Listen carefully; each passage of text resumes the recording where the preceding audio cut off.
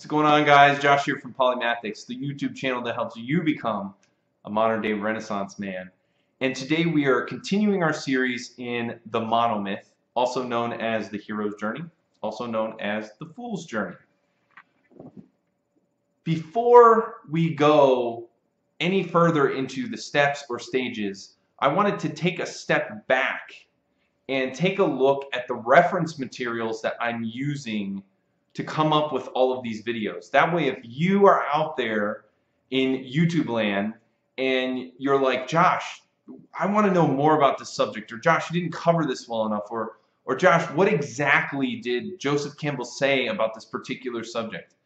I'm here to give you this in this video the main reference material that I use when talking about the monomyth and the hero's journey. Again, this isn't going to be all inclusive, but these are the, the, the main books that I use when looking at the monomyth. Now, the first one and the most important, I believe, is this one, which is a hero, sorry, The Hero with a Thousand Faces by Joseph Campbell. If you guys haven't watched my basic overview of the monomyth, or maybe you didn't catch it the first time, Joseph Campbell is the main proponent, academic proponent for the monomyth. He is to mythology what Sigmund Freud was to psychology. And when you look at, to, just to give you a basic overview of who Joseph Campbell was, he was a comparative mythologist, which means he went and studied mythology stories from all around the world, from tribes and ancient cultures. And what he tried to do was find out what was similar in each one of these stories. And that was very different from most mythologists of his day who would try to figure out what was different. So just doing that in and of itself really helped him come up with this monomyth idea or template. The other thing that Joseph Campbell did was he relied heavily on psychology and funny enough Sigmund Freud for a lot of his a lot of the points that he makes in, in his book. He he he the main if I were to say anything else about the monomyth is that what Joseph Campbell is trying to say in the book is that the reason why all of these ancient stories have stuck around so long and why they're they're so memorable and why we we constantly keep going back to them and it seems like so many stories repeat the, the same process is because they all touch the audience on a psychological level. They hit them deep in the subconscious with their symbols and their motifs. And this is what causes people to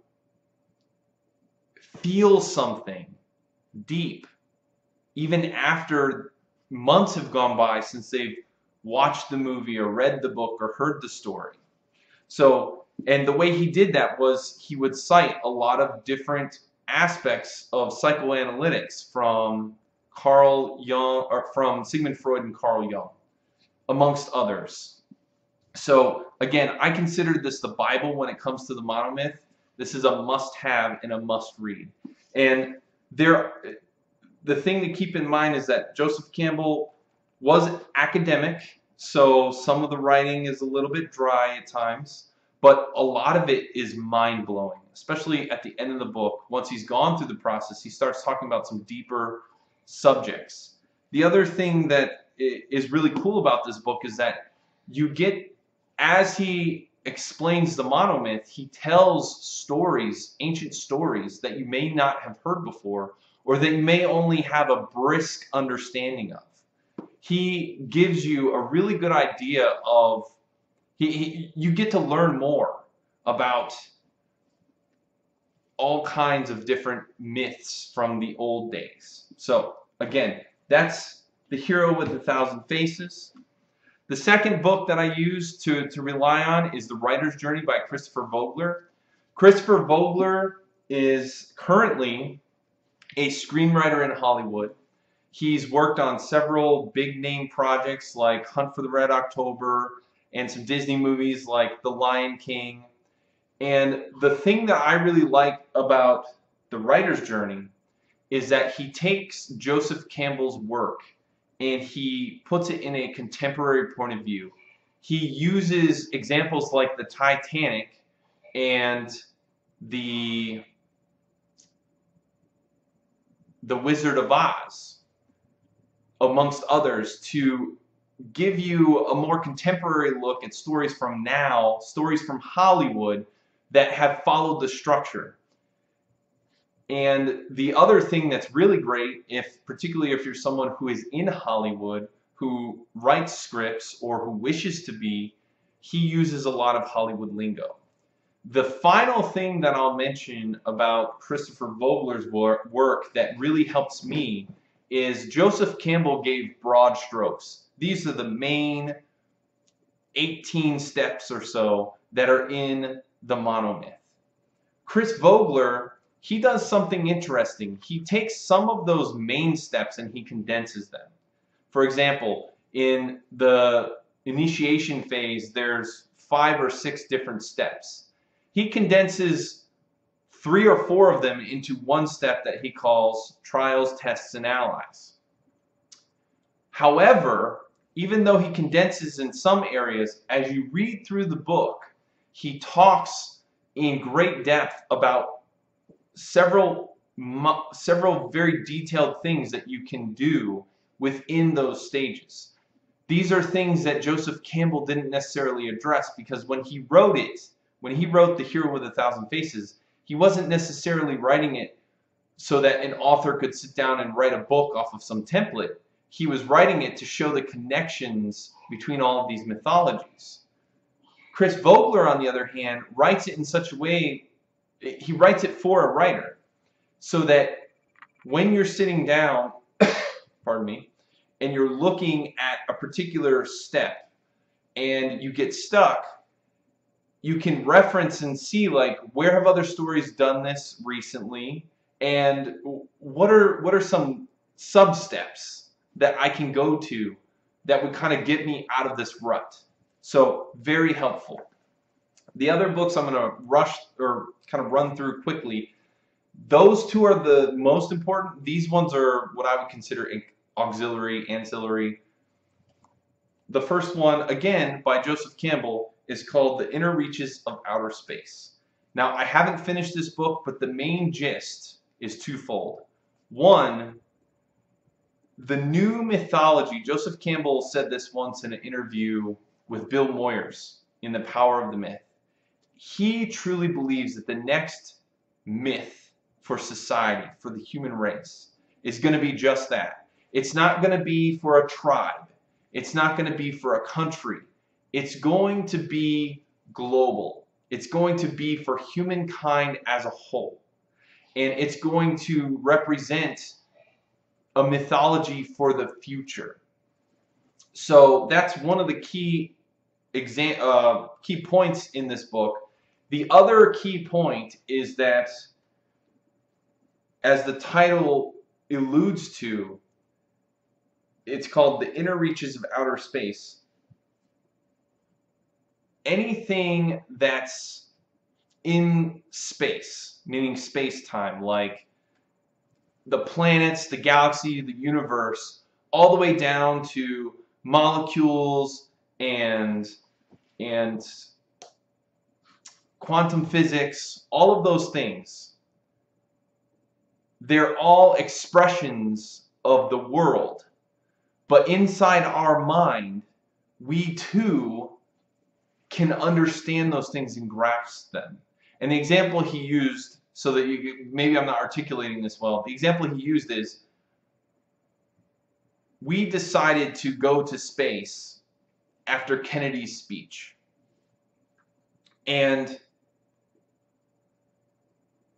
only a, I think it was like, I don't know, five or ten years later, we made it to the moon that's a very short period of time for us to get from point A, from just thinking about doing something to doing something. And the real interesting aspect of that is that we had never before that time gone to the moon. And so in order for us to build a spacecraft that would launch from the Earth, go into the right orbit to get to the moon, land, and then come back, all of those things had never been done before. But yet we were able to determine all of the necessary tools and skills and abilities and mathematics that would be needed in order to do that.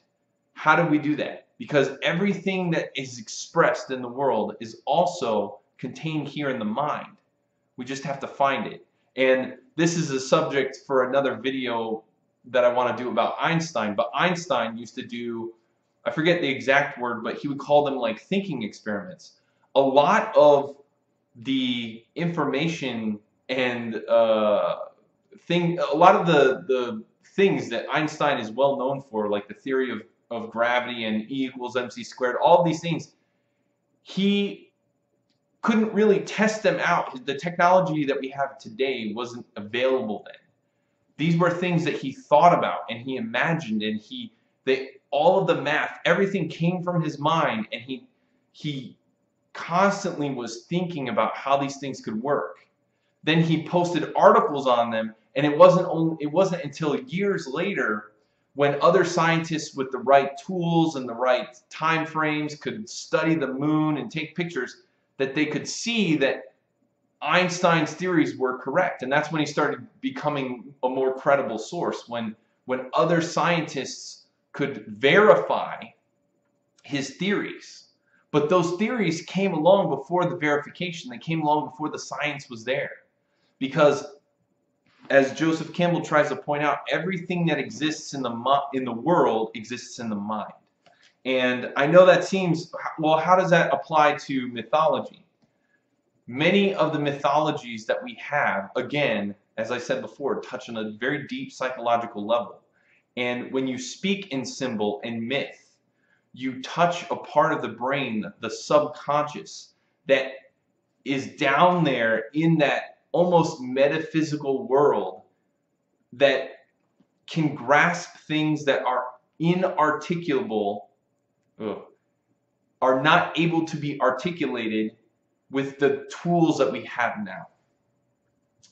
And then lastly, the couple others, these are all on my Kindle app, so I have to look here. The Anatomy of Story by John Truby. John Truby is another screenwriter. He's helped tweak he's he's helped tweak hundreds if not thousands of scripts in Hollywood and he's very well known in Hollywood for finding the flaws in stories and fixing them and one of his big proponents is mixing genres creating hybrids of genres so that you come up with something that's new and fresh. But the one thing that he brings up in a lot of his speeches and in his book is that the myth genre is the oldest genre. It's the most powerful, and that's why it's lasted so long. We know it's a tried and true test. So he'll mention the myth aspects that are very much in tune with what Joseph Campbell brought to light several decades ago.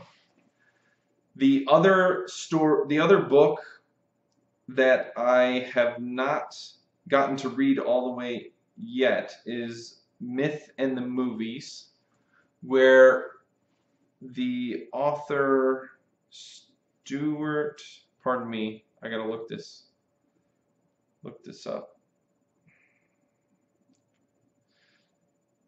Stuart Voytilla.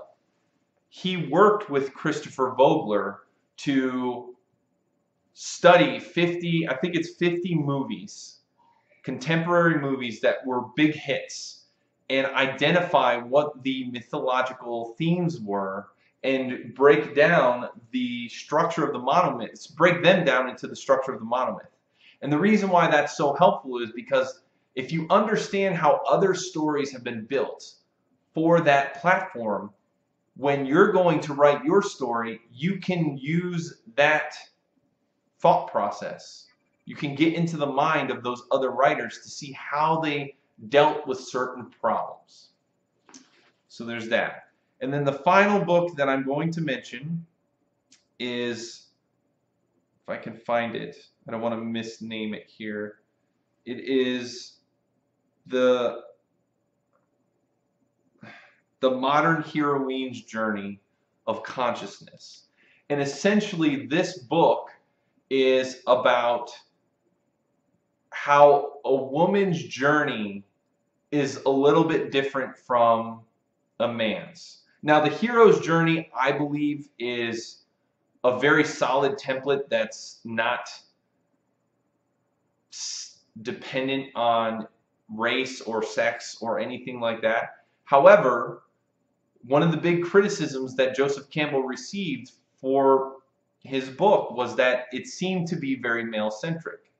But it wasn't because Joseph Campbell thought that this that it should be male centric. It was that many of the mythologies that he pulled from were coming from that was just the society that they came from. That's how they viewed their their characters. Their main heroes were normally, most of the time, males.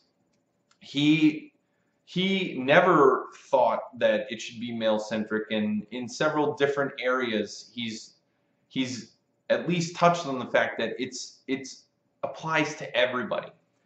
This book, however, explains how you can get much more deeper into the feminine thought process. And the main gist, aside from the opening of the consciousness, is that the the feminine process is to bring life back into the world. Uh, and a lot of times that deals when you're talking about the highest level of life, it's consciousness. So, so these are the books that I would recommend if you're trying to learn about the hero's journey. Feel free, there are definitely more. These are the ones that I depend on the most. So as we go through these discussions, if you're ever wondering where I'm pulling this information from, that's where it comes from. Okay, I hope it's been helpful. And if you want to hear more, like, share, and subscribe. All right, take it easy.